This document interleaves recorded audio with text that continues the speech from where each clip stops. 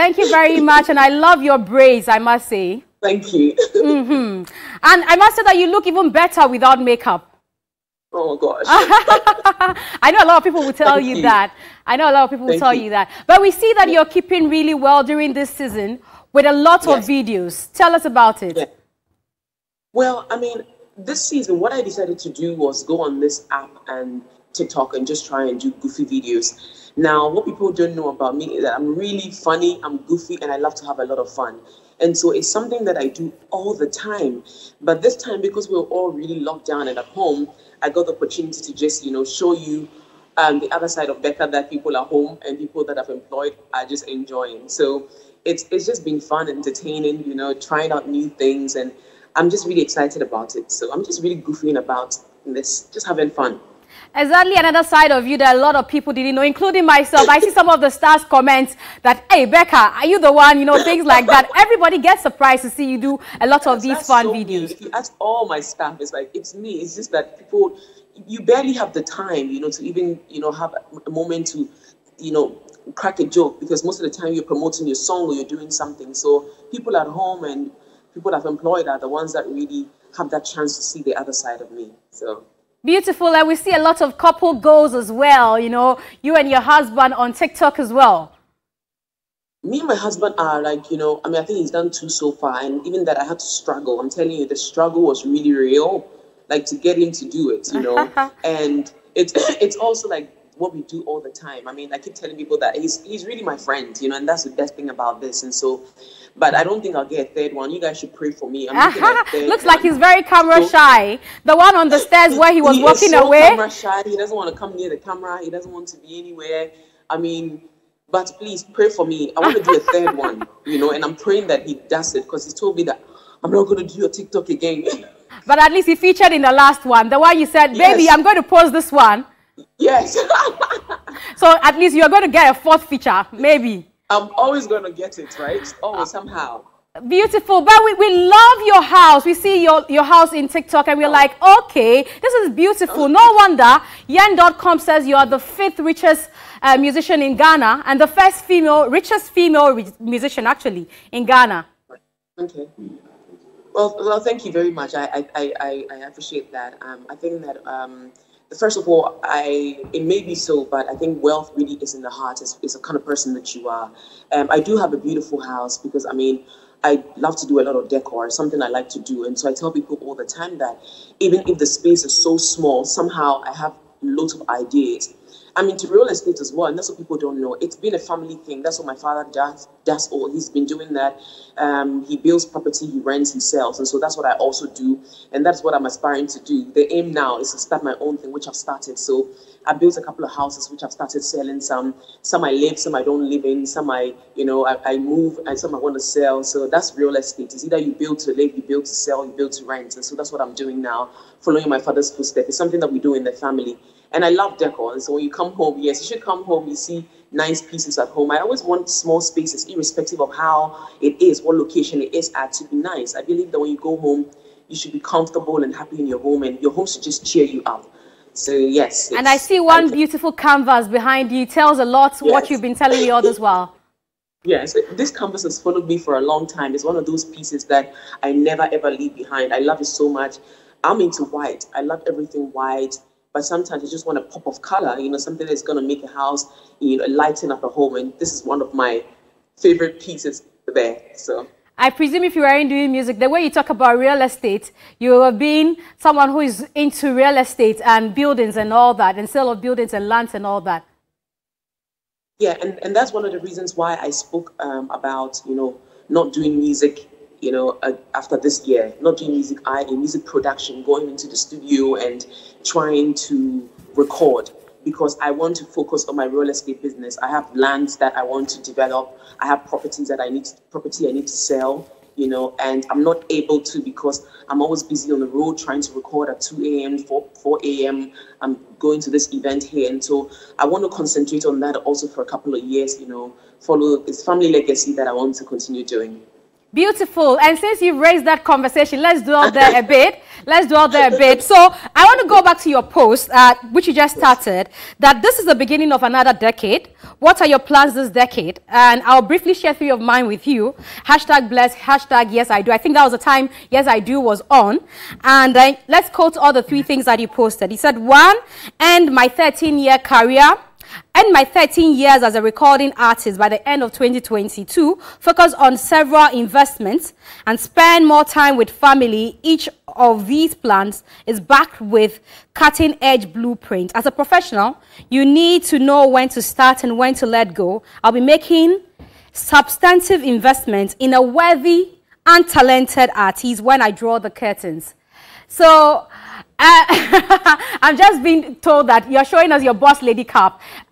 Oh, that's your mug with the boss lady. We love it. We love it. We love it. That's okay. That's very okay. So I, I decided to read these things to you because what some of the things that you mentioned that that's why you want to end your career as a recording artist. A lot of people didn't get uh, the meaning of recording artist when you put it out there.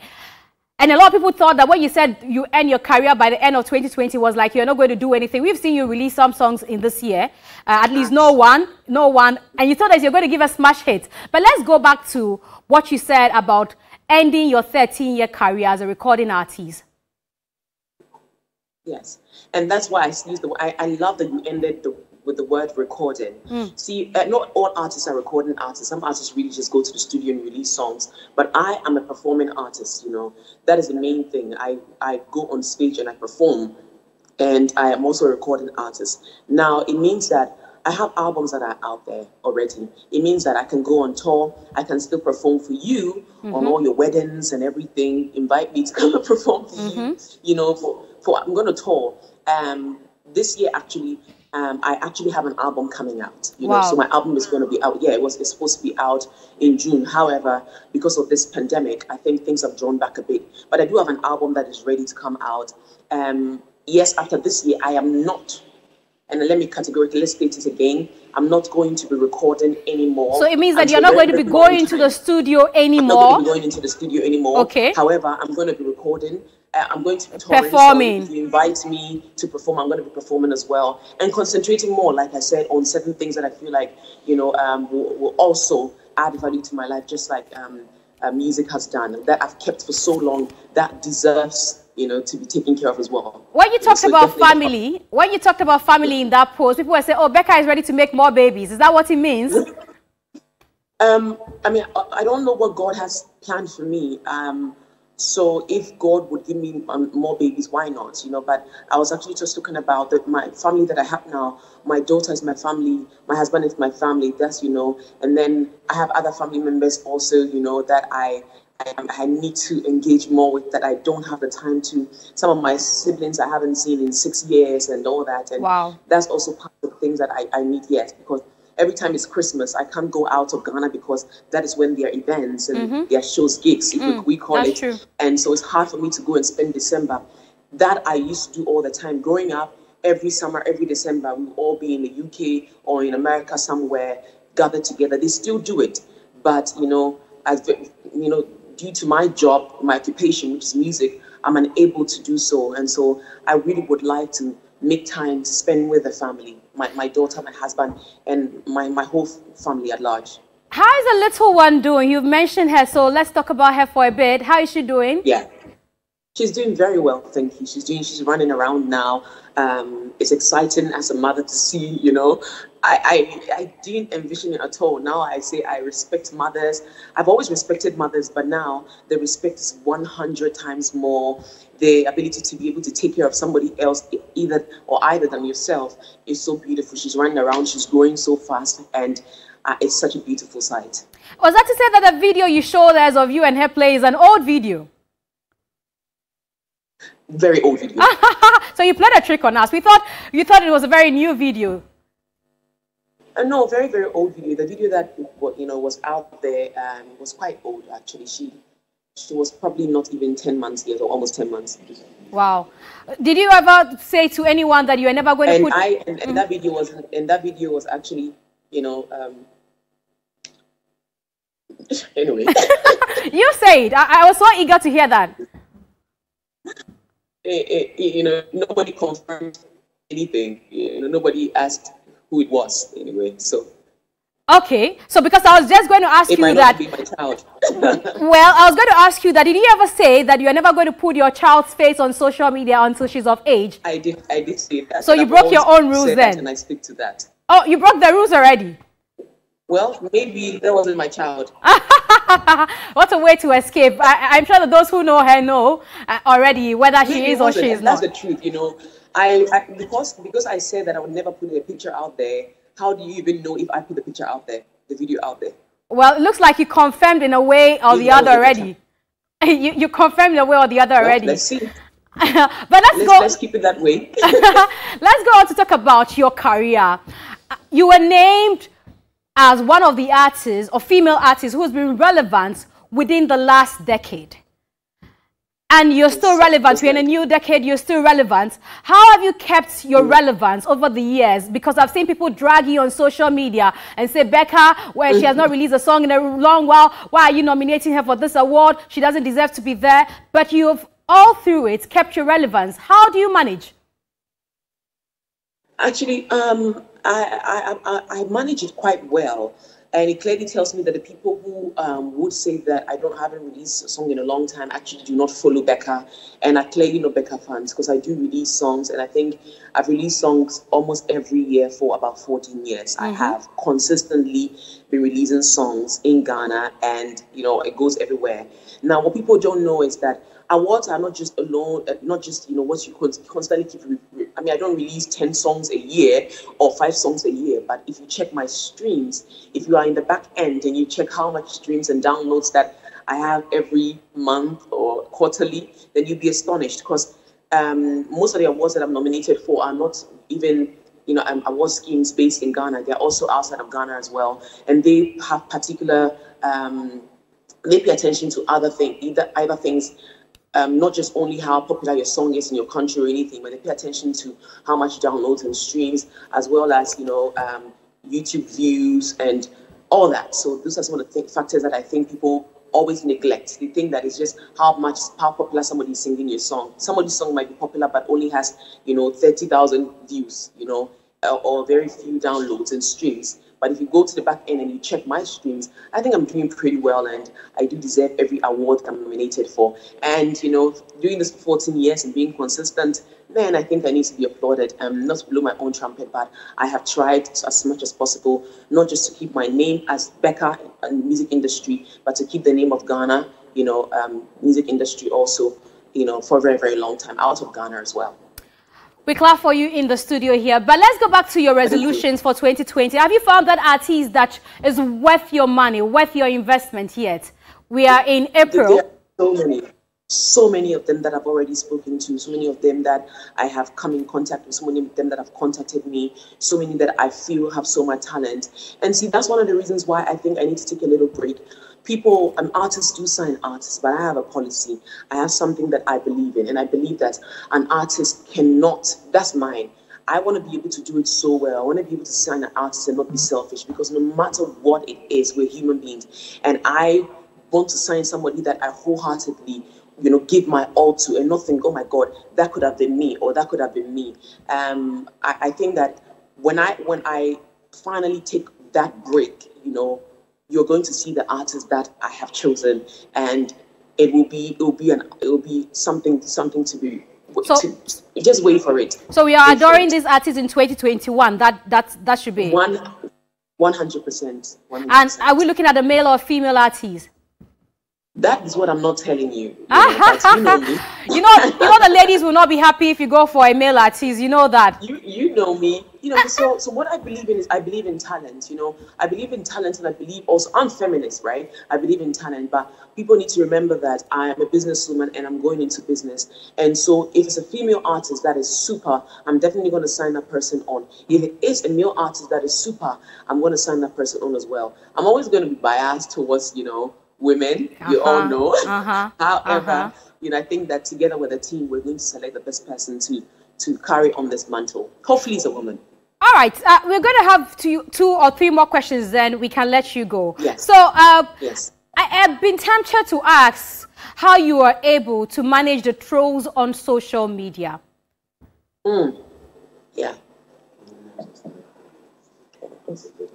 We so see the thing is that I um I have this quote that I say all the time that see your people that troll you right are usually your enemies. Hmm. Okay. Um I don't think that when you love somebody so much, you won't give them an opportunity to explain themselves. Mm. See, a lot of times I'm quiet because I believe that's the best way to do things. I believe that when you're quiet about things, it passes. And I don't see the need to constantly defend yourself when you know deep down that, you know, you are have not done anything wrong to people. So you have people who are hiding behind the scenes, you know, and pushing, hiding behind their phones, you know, who do not are, or unable to come out to really show themselves, who are just trolling you and constantly trolling you and trolling you. But, but you know what? I keep saying even Jesus Christ was trolled. Mm. Even the one who came on earth to save us was trolled. How much more me, Becca? Who am I? You know, I'm just a humble servant of God. You know, I'm just a woman that He created. And so these are things that are part of life. These are things that come in your life. These are things that you have to overcome, especially when you have set yourself aside to be a public figure. So I am not the only person that is trolled. However, it is the ability to be able to deal with that situation. How are you able to deal with it? Mine is just silence because I believe that silence is really golden. It might be a cheeky, you know, old saying, but it is golden. I'm not going to give my enemies the opportunity or the platform to to think that they've defeated me because they never defeat me. It's only mm. a matter of time and it just goes away. Do you, do you tend to think that some of these trolls come from people in the industry? Who are your um, colleagues? Of course, of course. I mean, it, it has, I mean, it cannot just be, it's not, there might be people, ordinary people out there as well, but definitely there, there's going to be some who come from the industry. Now, I'm asking rumors, this because of. Uh-huh. Rumors are started by enemies, mm-hmm. Accepted by fools, and spread by ignorance without confirmation. Wow, that's a quote I'm sure people will begin to pick already. But uh, yes. I, I, asked this question because of you. When you released Yes I Do, Ghana was happy. Everybody was talking about it. Becca, Tiwa Savage, people were singing it. And then when you decided to give us a smash for 2020, uh, no one, it became an mm. issue. At a point, no. you had to even block your comment section. Mm. I blocked it because it was not necessary to have people that you know are coming to put anything negative on my on my platform. I don't like negativity. You know, I'm very very positive. I'm a very positive person, and whatever situation that I find myself in, if you followed me for the past 14 years, you realize that I barely say much because. Um, I'm very positive, honestly. I don't like negativity around me. I like people that will make you smile, people that understand that you are human and you make mistakes. However, no one, I believe, is a smash hit. Now, let me explain to you why I say it's a smash hit because um, as much as people are trolling you and talking about you in Ghana, you know what? My song No One was number two trending one beat um, in South Africa. Wow. Now that's the irony of life. People at home were trolling you and talking about my song, but my song was number two in South Africa. Guess what song was number one? Tell me. John Cena by by Sho Madjozi. The song people were saying I copied. Now okay. people need to be give themselves an opportunity to be educated. Now, when I say educated, it is this it's as simple as this. People clearly do not understand the kind of music that I release. It sounded like somebody else's song. And so are all gqom beats, GQOM. Gum beats all sound alike. Now, in fact, if your song you claim is gqom beats does not sound like all gqom beats, then it's actually not gqom beats. Now, in South Africa, there is South African um, house, there is kwaito, there is amapiano, and there is gqom beat. Now, the good thing is that I featured the sing one of the main women who are the founders who started gqom beat, which is Busiswa. So now this is it. Would you actually think that she would take weeks and weeks to go through my song, listen to it, and actually feature on it if she thought it was a copied song? No. She didn't think so because they all sound alike. They created gqom beat and they understand it. Now, I do understand why people in Ghana were trolling me because the, the one very song that has crossed the South African market, which is Gqom beat, will be John Cena. And so it's a song that is peculiar and that's the only song that they understand and have heard. you know. And so that's the only song that you could compare my song to. But I would challenge them to go and listen to Distruction Boyz, listen to um, Busiswa, listen to DJ Tira, listen to um, Babes Wodumo, and then tell me if they all do not sound alike. DJ Maphorisa, they all sound alike. Now, I didn't say the same, they sound alike. Because if you listen to my song, No One, and you listen to John Cena, it's like four bars of similar things. But even so, after that, the mechanism is totally different. So if you want to go to the back, you have people who are good, who good producers. They can go and break it down and see if the mechanisms are all the same. They are quite they are quite different. They might sound alike, but it's not the same mechanism. But gqom beat naturally, GQOM is supposed to sound alike. If I play 10 gqom beats to you right now, you be quite confused. You say, but it's the same song I'm listening to, but it's not. Definitely, you, know, you, you, you, you, are, you are disappointed by all that you heard. I'm sure from the way you are emotionally talking about it, you are disappointed. Yeah, I was. It's, I felt like it was naivety, you know, and I felt like people should have just asked these questions. And I felt like, but people who knew it knew it. And so I wasn't really worried about it. Um, I understood where people were coming from. Like I said, John Cena was the only song that they really, really knew. Like one of the only songs that had crossed the South African shores, you know, that had come here that was very popular. And so people understood that more. And it really did sound like my song because it's supposed to sound alike, you mm. know. And but like I'm saying, my song was number two, you know, number two in South Africa. Whilst Ghanaians were bashing you here. Unfortunately, we have exactly. to let so you go.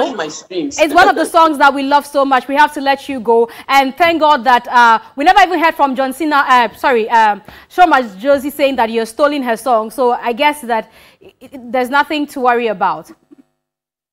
They don't even know my relationship with her. That's oh, you have a good relationship with her. I'm sure she was just laughing, thinking, "Ah, my man, ah, ah.